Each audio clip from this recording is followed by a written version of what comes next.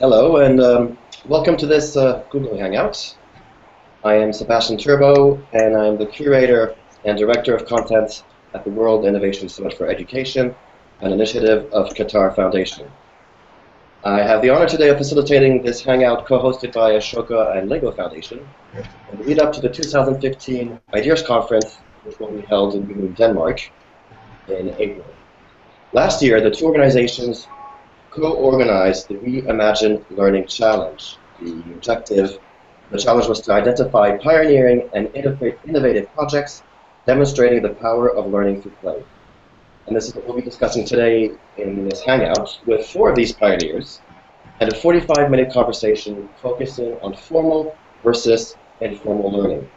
By the way, don't hesitate to share your questions to our guests through Twitter using the hashtag PlayToLearn. That's hashtag play. Do as the number two, and then learn. And I'll be taking your questions and giving them to, to the panel. Now let me quickly introduce our four guests today. We have uh, Jan van Meppen from LudInc. Jan and his team at LudInc have designed a quest-based game featuring a time-traveling professor. I'm looking forward to knowing more. We have Grant from CodeSpark. You are the co-founder of a pick-up-and-play game that teaches children as young as five programming principles and computer science concepts. We have Naveen from Tackle. Tackle creates playful spaces in Indian slums where young volunteers lead their peers through a curriculum in theater, music, dance, storytelling, reading, and arts. And finally, we have Brendon from Institute, Institute of Play. The Institute is a program where students don't just listen and take notes, but where they are dropped into a complex, inquiry-based problem space where learning is practically irresistible. Uh, Jan, I'll start with you, and actually this is a question I'll be asking to all four of you. To all four of you.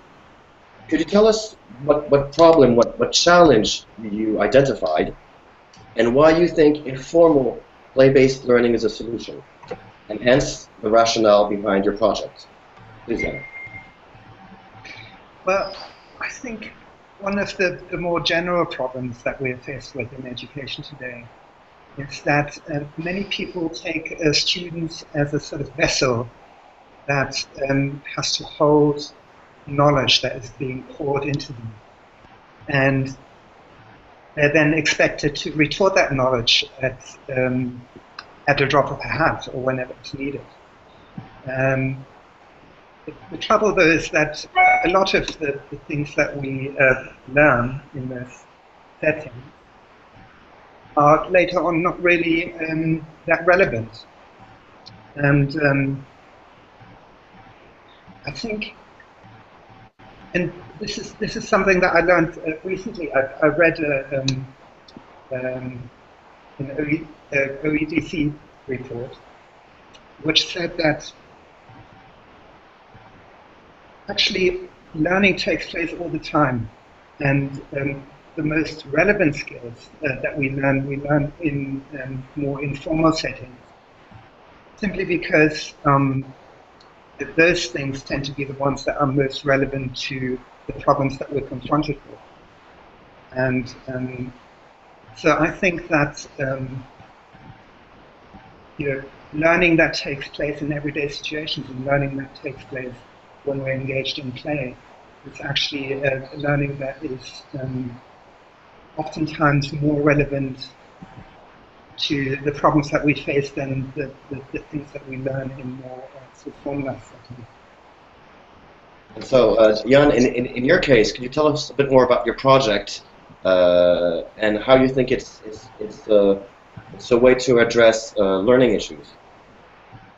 Yes, well, the project is called Professor S, and Professor S is uh, the story of a time-traveling professor who has uh, invented uh, a time machine, and uh, but during the first time jump, something goes terribly wrong, um, and he gets stuck in the past. And the students uh, basically uh, get delivered a, a, little version of the time machine into the classroom, which they can communicate with him, and um, so there, there is a, a dialogue that ensues out of um, the, the, problems that Professor S encounters, but he's always in trouble.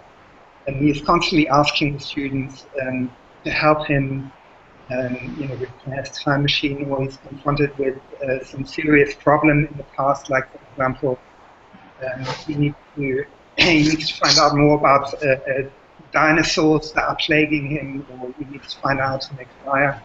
And so he's often confronted with very real and very concrete uh, problems that we need children's help with. And because the, the problems that he encounters are framed in a real context, the, the kids can more easily relate to, um, to his needs, and, and, and therefore the, the things that they learn are not really uh, things they learn because it happens to, in, in, the, in the textbook, but they're things that have a, a real and, and, concrete relation to something that's happening in their world.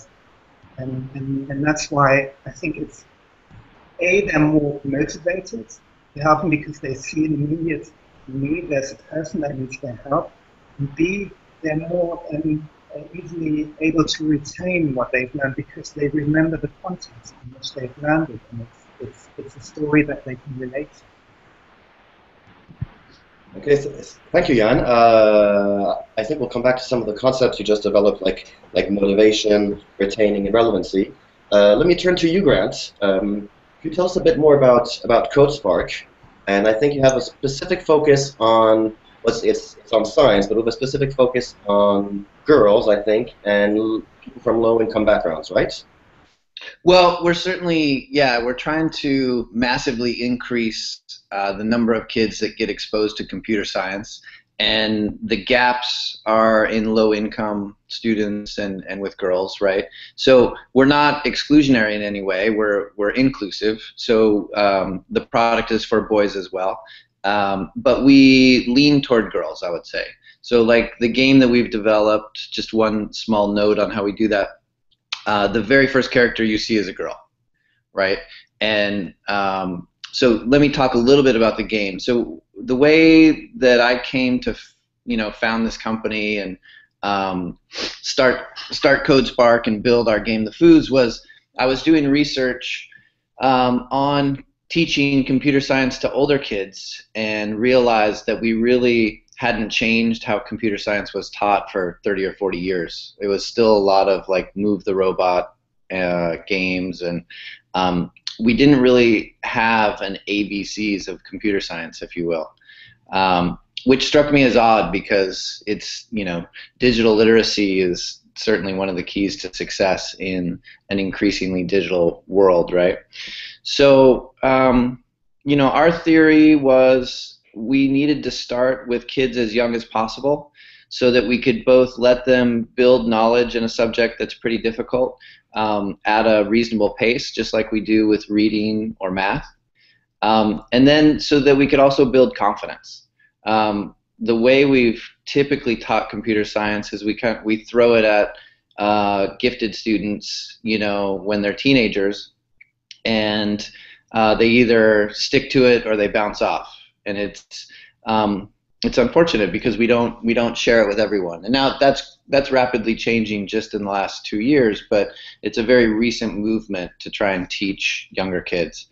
Um, so you know this game that we built uh, has no words in it, so that a kid in China can play like a kid in Italy can play like a kid in Ghana, um, and uh, it's pick up and play because one of the biggest problems with teaching computer science to more kids is that there's not very many qualified teachers. And if we wait for teacher capacity to be built, you know, it'll be a decade before we make a real dent in this problem. So uh, while adults can absolutely add value to our game and teachers can use it in their classroom, um, you know, a kid can play it anywhere and be fine. And then the other part of our mission in terms of trying to reach as many kids as possible is that we're multi-platform. So we've developed uh, in a technology called Unity that allows us to publish to Android and iOS and the web, Kindle Fire, kind of almost anything you can name, so we can reach kids in as many ways as possible. Um, and you know the biggest gap in teaching computer science was with this younger age group and the reason we picked a playful approach is because we just think it's you know the way you teach kids under 10 in particular, but really all people, is you have to hold their attention, right? and you, you don't get the right to teach anything um, unless the student is self motivated to pay attention and, and take the next step, whatever the next step is. And so, uh, you know, we felt that a game was the right way to draw kids in and, and make them feel powerful quickly. Uh, traditionally, with computer science, you had to do a lot of work to make something very small happen when you were learning. Um, and so we've kind of turned that on its head. Now, with a little bit of effort, you can make something very big happen, and then slowly but surely, we open up um, the process more and more so that kids understand the details. Um, but we want them to feel powerful right away. Okay, thank you, Grant. Um, both your, your, your project and, and Jan, Jan's project are uh, technology-based. Uh, let me now turn to Naveen uh, from Tackle. In, in, your case, Naveen, uh, it's still informal, it's still play-based, but it's it's uh, it's not a digital project. Can you tell us a bit more about about Tackle? Yeah. Firstly, the context in which we work. I want to endorse what Jan said, and uh, a lot of philosophy based on which we work is very similar to what he said. The context that we work is, um, uh, you know, in the slums and low-income areas of Bangalore and rural India. Uh, so one of the problems that we face is one, uh, we came across a lot of children hating schools, uh, running away from schools, a large number of dropouts, and also very low comprehension of school subjects. Uh, so that was a, one one of the problems. Second was we we saw that fear governed most of their learning lives. Uh, there was fear of punishments, fear of failing in exams, uh, fear of subjects. Uh, for example, uh, English as a foreign language, you know, created a, nightmares for a lot of students that we dealt with. Um, then uh, we also came across a lot of insecure primary relationships, especially due to stressors of life and poverty. Uh, uh, children abused in one way or the other, alcoholic fathers or overworked mothers, unsafe neighborhoods. Uh, so, in in all this, learning academic subjects or learning was the last. Uh, learning from school was the last thing on the child's mind. Uh, so this is the context in which our work started. Uh, so our project uh, deals with equipping the youth around that community to work with children by creating safe spaces for play. Uh, so uh, and we try and use play because we believe that's the natural language of learning for children. Uh, and in fact, when we started off, we started with academic learning and trying to make learning fun through games and uh, uh, you know creating games for that or trying to use what existed in the market. But uh, we found that the kids coming back more and more to us to say uh, you know can we can we do art? Can we do uh, music? Can we do dance? So um, so we heeded that line of thinking uh, and so now we see so what we typically do is we look at youth we see what they are skilled in whether it's in dance whether it's in art craft uh, theater, and then we train them to work with the kids on that. And in the process, they build, sorry, they build relationship with the kids. And sorry, once that is done, learning happens naturally, uh, whatever form of learning it is. And so, basically, what we do is create that safe space for play uh, for children. Okay, thank you, Naveen. Uh, I'm, I'm curious. We can see all these boxes with toys behind you. Is that part of your of your of your approach of your program? Uh, well, our project room looks very similar to this because a lot of people donate their toys and uh, stuff which children can use for play. Uh, so so it is quite similar, but this is my home and uh, we are homeschooling our kids, so it's their stuff and I'm using their space to have this chat. Okay, thank you very much. Uh, and finally, Brendon from uh, Institute of Play. Uh, Brendon, same question to you. Why why the Institute of Play? And what approach are you taking into in in, ter- in terms of uh, informal learning and, and play-based learning? Uh, yeah. Okay. So I guess the the major problem that Institute of Play kind of was founded around, uh, and, and, this is sort of mentioned already, is this sort of engagement um, problem, especially as kids get into the uh, kind of middle school ages.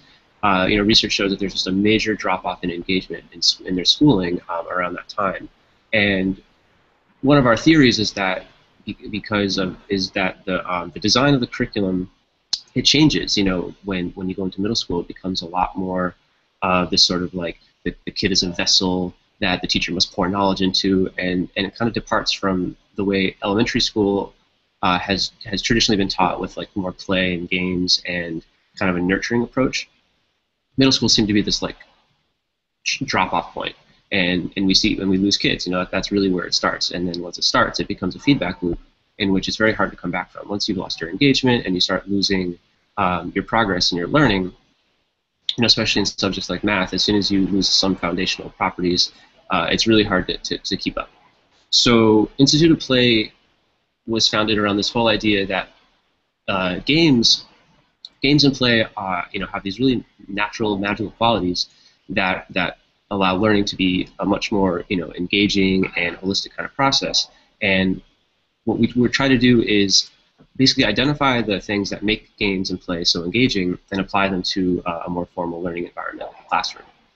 Um, so we, we have what we call the, the principles of game-like learning, and um, you know, out of out of some of them, we one of them is learning happens by doing, and and so that is it's a general concept that you know in in games uh, clearly you are you're doing what you're learning about in a game. You know, you're, you're jumping and running and solving problems. So if you take that idea and apply that to the classroom, you know, as, as opposed to uh, looking at a lecture or a book about about a subject, if you're engaging with that subject in some way by doing it, uh, you're gonna you're gonna get much more uh, engagement and uh, deeper learning out of that.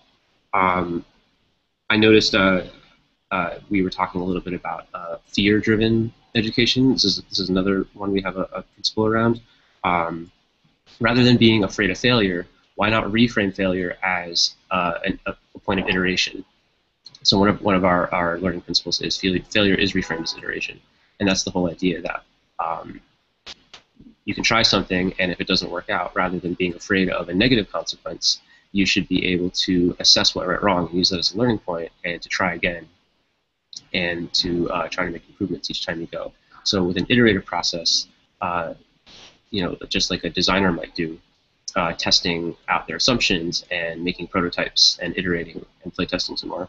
Uh, kids can really engage with what they're learning and also produce creative projects that are related to what they're learning rather than, say, answering questions on a test or, um, or just, you know, re repeating facts back to the teacher. Um, we have we have a bunch of these learning principles. Hopefully, a few of them will come up more uh, organically as we go. But that's the okay. whole idea, right? Taking the taking the principles that underlie games and, learn, and play and applying them to learning. Okay, thank you, Brendon. Um, we have a question coming in for, for Naveen, but I guess it's it's a question I would have for, for, for all four of you. Is is about is about the ecosystem uh, and mostly parents. And someone is curious, Naveen, to know how how you've managed or not to change the, the mindset of parents in India towards uh, learning through play? Um, I think that's um, that's one of the most uh, pertinent things that we deal with in our day-to-day work, which is that um, you know learning is seen as very different from fun, but most of our programs happen to be fun, so they see. Uh, I mean, so people find it very difficult to look at the learning uh, in it. Uh, you know, so even today's uh, discussion on formal and informal learning, and I think it's it's better if we frame it as natural and unnatural learning, because play is is a natural uh, learning method. Um, now, uh, it, it, takes a lot of work to convince people, uh, and it initially starts off with children who have uh, what is defined in mainstream as problem kids you know so parents of such children come to us and see uh, say that they see a lot of change in their children. They're able to sit in class. Schools uh, where these children go to, they come and tell us that uh, uh you know children uh, are able to you know their relationships have improved because of which they are able to adapt in the classroom environment because of which their academic uh, performance is increased so it starts off with such kids uh, but slowly uh, you know since we have consistently been working in the same communities now more and more parents come and they wait they plan their programs around us so there's a great deal of change. And like I said, uh, our context is a low-income context. I see a greater resistance among uh, among the more well-off folks who refuse to see, uh, you know, the learning, uh, fun and learning being related. Uh, in fact, I've had parents, uh, you know, who are quite liberal in their thoughts on education say, I want to change my children's school because all they seem to be having is fun there. So that is a mindset which is quite difficult to change, but we have seen change, and uh, I'd be interested interested to know what the others experience. Okay, thank you, Naveen. Uh, great, uh, great story here. Uh, Brendon, you're you're working directly in schools, right? So you as well uh, come head to head with the administration, with parents. How has the, the, the reaction been on, on, on your side?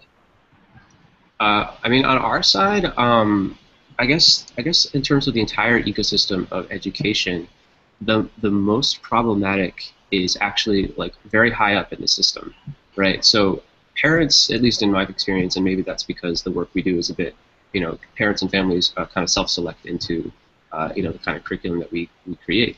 Um, similarly, the teachers and the administration do as well. So it's it's where it's the situation in which that entire th those people are situated, uh, you know, into sort of the greater political landscape of education is really where we start to run into problems. You know, um, especially when as the kids get older and uh, over reliance on uh, standardized testing to assess both the kids and the teachers suddenly becomes a huge stopping point when um, a teacher feels like they have to cover uh, you know dozens and dozens of different things for a specific test that's coming up at the end of the year that lot, that gives them a lot less affordance to um, experiment and try kind of more playful solutions in the classroom.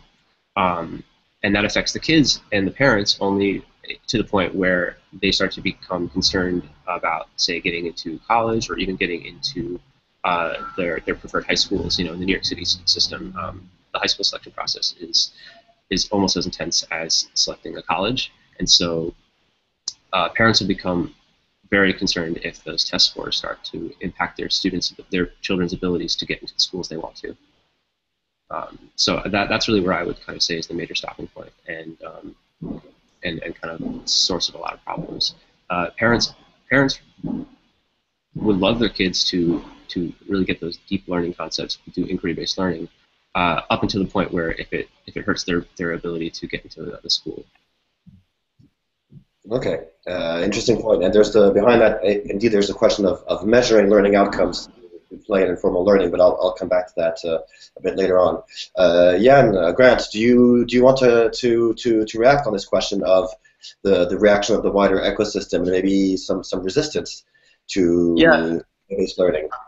I'll jump in just quickly. I'm sure Jan has something to say too, as he works with a lot of schools. But um, it's interesting. There's definitely people who have played games in their life and see the value, and people who haven't. And I find that the people who haven't naturally played games as part of their own childhood tend to have more resistance. Um, we get a little bit of a pass because we're dealing with a subject that almost everybody is scared of, which is computer science. And so the idea of taking all the sharp edges off that is appealing to teachers, parents, and kids, and they kind of get why this thing that's seen as a little bit scary could be um, introduced more easily in a playful environment. Um, but even so, uh, even when we're compared to some of the competition out there that's more structured and much less fun, um, you know, people tend to point to things like, well, they have a, a, a, more clear feedback system, you know, and then our argument is, yes, but your kid doesn't want to actually do that particular game. So, you know, you've already lost the war. Um, so we have a lot of conversations like that, but I think there is a general um, beginning of understanding, at least here in the U.S., in among parents that um, we need to change the way we think about learning in general, and that learning is starting to be less and less about just gaining knowledge, and it's much more about problem solving and where to find knowledge, and then what to do with that knowledge when you find it. And these require different skills and the parents don't totally know where those skills are going to come from but if you can explain to them that a game teaches a lot of the things that a child needs to know persistence and creativity and so forth then uh, you do start to connect with them. Okay thank you grant. Uh, jan uh, what about you yeah well actually We've presented uh, the, the project recently at a, a large uh, trade show here in Germany. And um, the response, for, both from teachers and parents, has actually been overwhelmingly good. And it's, it's shown us that there's a real a demand and a real need for um, play-based uh, solutions, um, such, such as we were uh, creating. You know that there's um, um, that people want uh, to use these applications uh, in schools and also at home. And um, the, Naveen really made an interesting uh, point uh, earlier that I wanted to pick up on because he said that um, often kids that um, appear to have learning difficulties at school uh, perform particularly well on the play-based um, in a play-based environment. And we've made exactly that uh, experience as well with uh, Professor S, that kids who are normally um, sitting quietly at the back of the classroom, um, not really wanting to engage with other children or participate in, in, in, the, in the lessons, that uh, when they start communicating directly with uh, Professor S, because we use a lot of um, um, you know, video presentation techniques. So the kids sit in front of the computer, much like I, I'm doing now. I'm standing in front of a camera and I'm talking to the camera, presenting ideas to the camera, and that's what we asked the kids to do as well, except they presented to Professor S. So they're talking to a person who is um, um, perceived to be their equal because he's asking them for help, right? So it, already they're in a situation where, well, if he's asking me for help, he must uh, take me seriously, you know. And those kids, particularly those kids with learning difficulties, then really come out of their shells and and and and and, and manage to um, surprise their teachers with uh, feats that they never thought they were capable of. Yeah, and that's something that that has really impressed me. Um, and, and uh, something that we've seen um, again and again in schools. Um, and, um, you know, because Grant and I have been talking about the possibility of integrating um, the CodeSpark application in the Professor S platform. We took it to the to this trade fair as well and presented it and and, and, and it got uh, got an overwhelmingly uh, great response. You know, people are actually interested also in um, you know um, computer science based applications because computer science, media literacy, you know, anything that has to do with new media, new technology is really something that where teaching skills are lacking, and people want to use uh, innovative applications. They want to use uh, things that that that uh, that teach these things, you know, because because um, where else um, are they going to get them? Okay, thank thank you, Jan. Um, I'd like now to to move more into the kind of the, the, the concrete details of your of your methods and your approach. Uh, um, but since time is already running short, let's play a game together. Let's say I'm a, I'm a teacher, um, and I come to all four of you, and I ask you for what's the one thing, the one little takeaway you could give me, the one little tip on play-based learning that, that you would recommend that I try to to implement or try to put in place with my with my let's say 80-year-old students here in Paris. Uh, maybe starting with uh, with you, Brendon.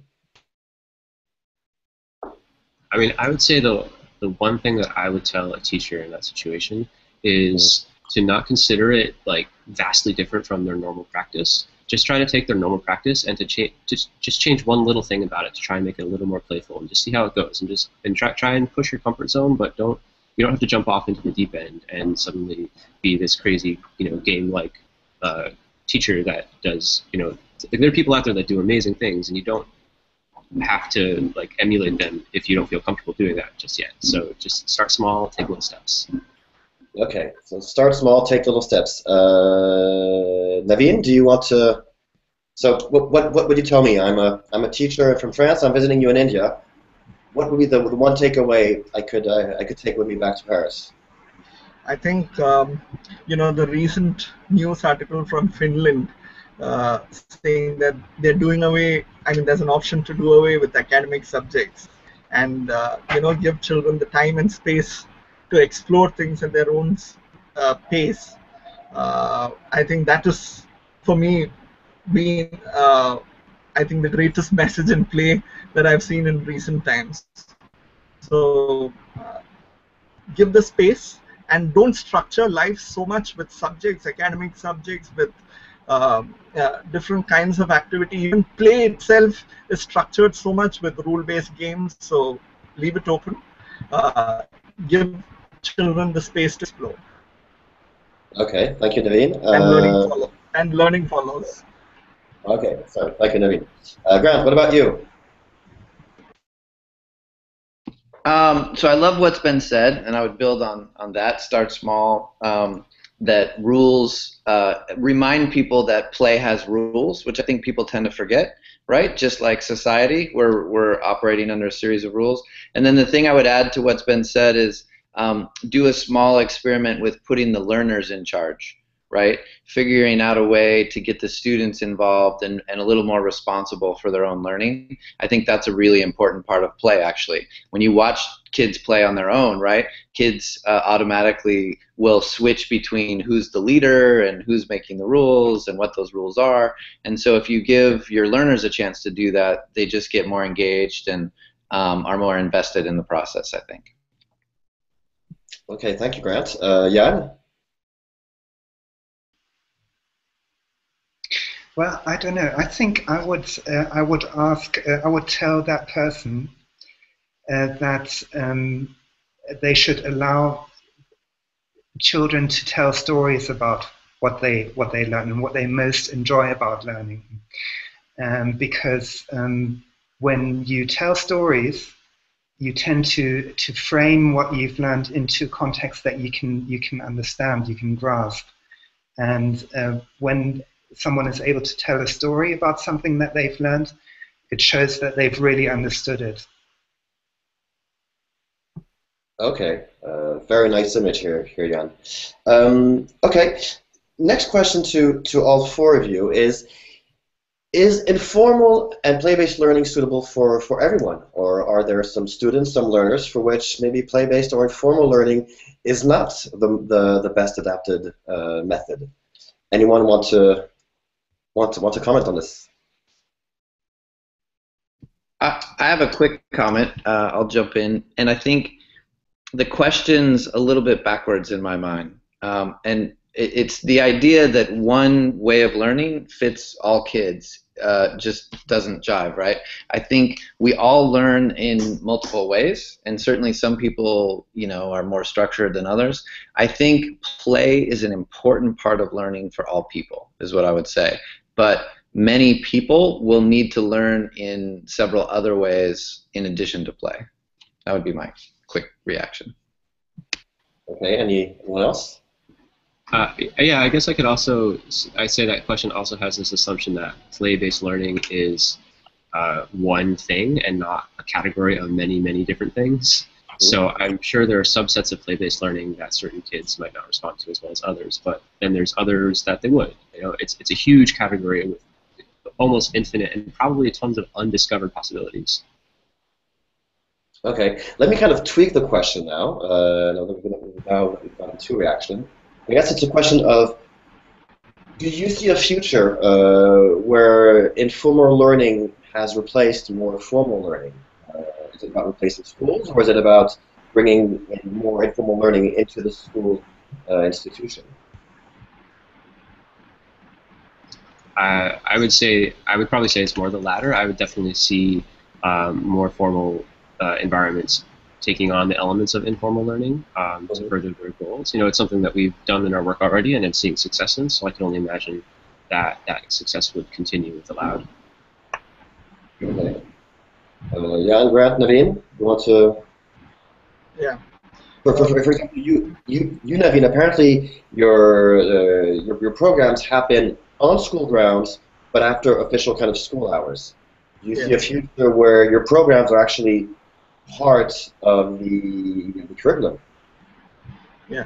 See, um, just also build, building on what Brendon said, uh, I think uh, play-based learning is more an approach than a method. Uh, so, uh, in that way, the whole the formal learning system, which I earlier called as an unnatural learning uh, environment, uh, this may not fit in as a method there. So I would see there's a need for a uh, whole overhaul of the system where this approach where learning happens naturally is recognized and given its due place. Uh, we, you know, we see uh, three-year-olds, four-year-olds pick up the latest Android uh, system, figure out its uh, the way it works, uh, and you know, while we have people failing in computer science and not able to do the basics of mathematics, children figuring out games in different languages which they haven't even heard of.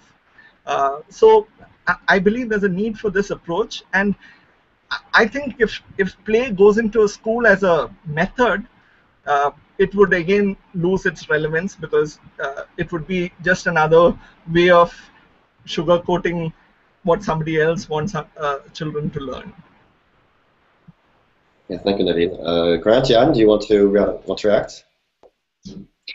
Well, I, I can, speaking just for myself, you know, I, I was uh, spectacularly bad uh, in school, and uh, I failed at many things, uh, succeeded at some, but the things that I succeeded in the most are the things that really interested me and the things that I really enjoyed for one reason or another. And that often had to do with um, you know, engaging with uh, something in, in actually in a, in a playful way, because when you enjoy something, it means that um, that you you're happy to to try things, try different approaches, and see uh, see what works for you and, and, and what doesn't work, and experiment. You know, figure things out for yourself. And I think that's uh, that's uh, that that's a skill that's more and more in demand. It's certainly a skill that that that I look for when when I when I um, uh, when I look to hire people, you know, and um, bec- because you know more and more people need to uh, work um, independently of you know having a set of instructions, and they need to um, they need to be creative problem solvers. They need to be able to figure things out for them for themselves, you know, and that's and, and that's that's what's required. And I think teachers recognize that. I mean, they are, after all, they, they, they, they see that every day in their in their classrooms. They see, you know, how how, how kids engage with uh, subjects that they really enjoy, and, and how they shut down when they don't enjoy something. You know, so um, I, I think it's uh, inevitable that um, that playful learning is, is is going to be used more and more. Okay. Um, I see that time is is starting to run out. Um, so I'll get to my last main question, uh, which will be the tough question, whi- which is the, the classical question of should we, can we, and how are you measuring uh, learning outcomes through through play? Uh, maybe starting with, with you, Grant. Yeah, so I, I believe that we should and that we can, um, and that actually games are well suited to do that. Um, but I believe we need to reconsider what a successful outcome is. Um, we've gotten really uh, bogged down, I think, in particular in developed countries, but probably all around the world, with uh, standardized testing. You know, certainly here in the United States, that's what is driving many things. And so but within a game, you know, we can track how often a concept is used and whether there seems to be mastery of that concept or not, and whether that concept uh, is reapplied in several different circumstances. And then outside of the game, we can test whether they carry the knowledge with them to a different environment, right? And so I do believe we should and and can measure that. Um, but we just have to be more creative in what we measure and what we think about it. Okay, well, Grant, uh, you were you were, you were saying earlier that uh, your, your your game, since there's no writing, it can be played uh, in China and Italy. Uh, mm-hmm. If if I'm an Italian teacher or parent, um, and, I, and I ask you that question, you know, you, you yourself are American, you don't necessarily know my culture, you don't know the curriculum in my in my country. How can you help me understand that I can that you can still help me measure the learning my, my kid is, is, is getting through through your game?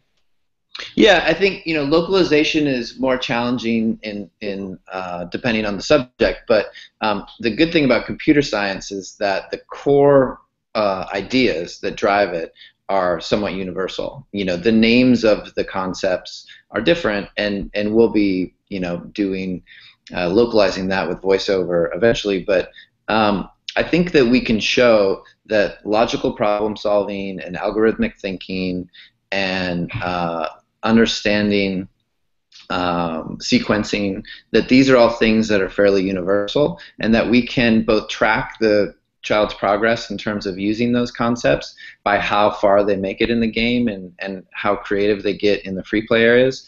Um, and we can we can show that that knowledge is useful. Okay, thanks. Uh, answer your question? well, yeah, sort of. But I mean, I'm you know I'm just here to, to uh, I, I, won't comment on it, and I'll turn to, to Brendon. Uh, I think through Institute of Play you have a pretty uh, developed uh, measurement system. Am I am I wrong? Um, not you're not you're not wrong, but I don't know if um if it's if it's done in the way that you're picturing it. Um, no, no, no, no, sorry.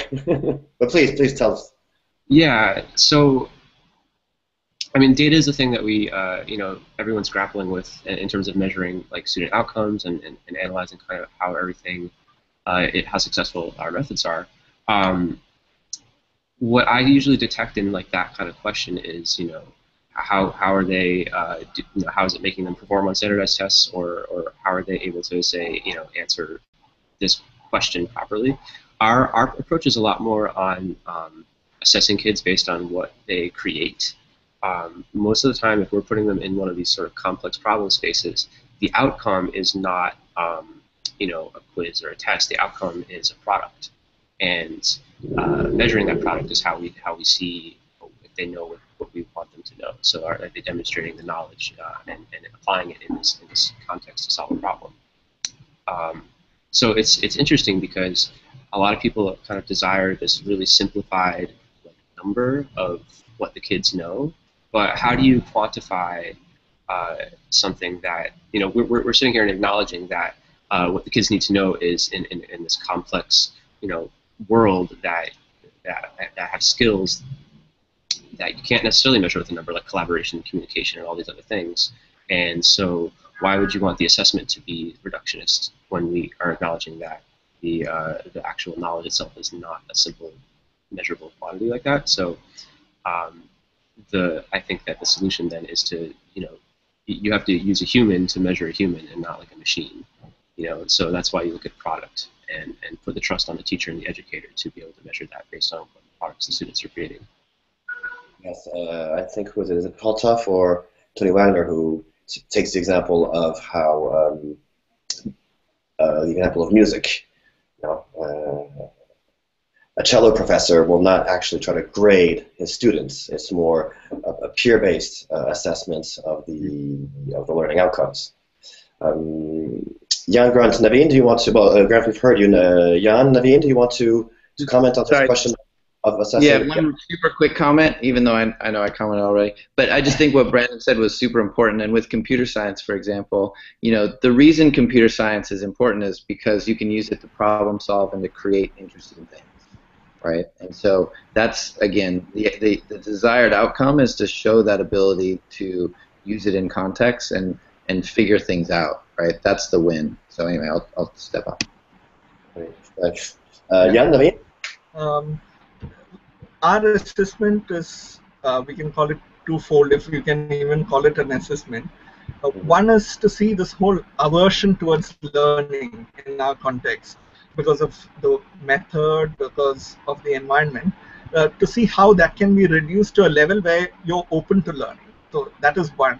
And the second is your readiness to learn because what what is given right now is a certain way to learn which uh, you know many of the kids most of the kids don't even relate to it uh, the kids that we work with they don't relate to they don't understand they don't care for it uh, and they may never learn it because they've developed that aversion to it. So one is this bringing back that whole self-confidence and self-esteem to say that you know you you you, you can still learn you're learning every day. And second is you know uh, uh, what do you say? Endorsing or uh, uh, there are different methods of learning. Grant had uh, mentioned earlier that children have different learning styles and all of those are important. So you know endorsing that and uh, um, uh, encouraging them for what that is. So our assessments are towards that and how do we do it it's it's it's only through stories. It's through what they share with us uh, you know a new thing that they learned a new thing which they want to learn. Uh, but it's not put into standardized test and I don't see how we can do that.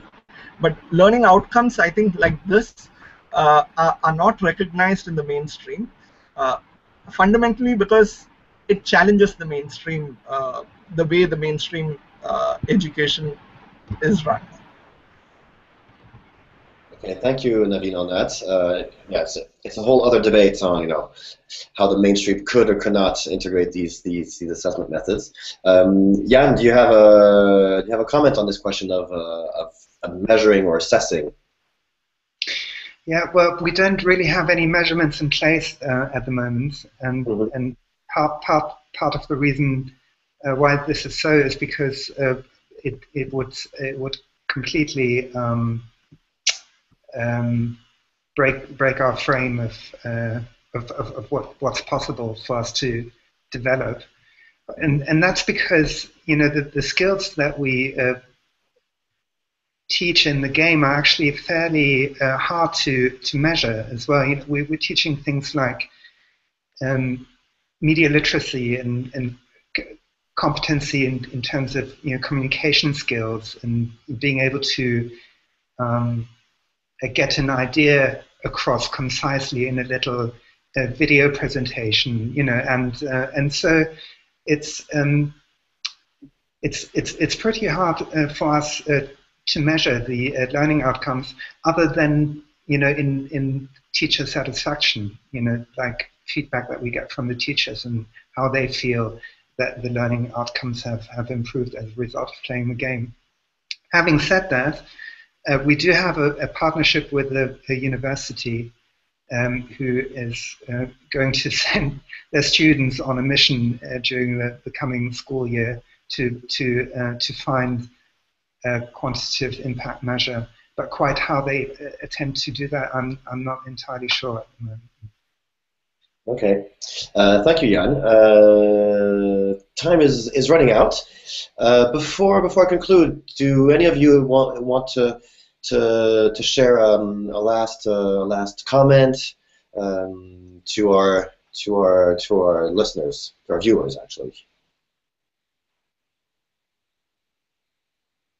Okay. Uh, well, then, on, on this note, I'd like to, to thank all four of you and to all of those listening. I think we had a really interesting uh, conversation with lots lots of little stories and kind of concepts to, to, to continue the conversation on. We talked about motivation, we talked about dropping out, we talked about safe spaces for learning, failure as iteration, play as a natural language of learning, uh, changing the mindset of parents, starting small, finding the space and pace, putting the learner in charge, uh, and telling stories about what you learn. I think these are all very interesting takeaways. Uh, I hope you enjoyed the conversation as much as I did. I'd like to thank you all, uh, Brendon, Grant, Jan, and Naveen for your, for your time. Thanking uh, Ashoka and Lego for, for hosting this conversation. And uh, I hope to see you again uh, soon and to further the conversation. Thanks. Thanks for having me. Bye-bye. Bye-bye.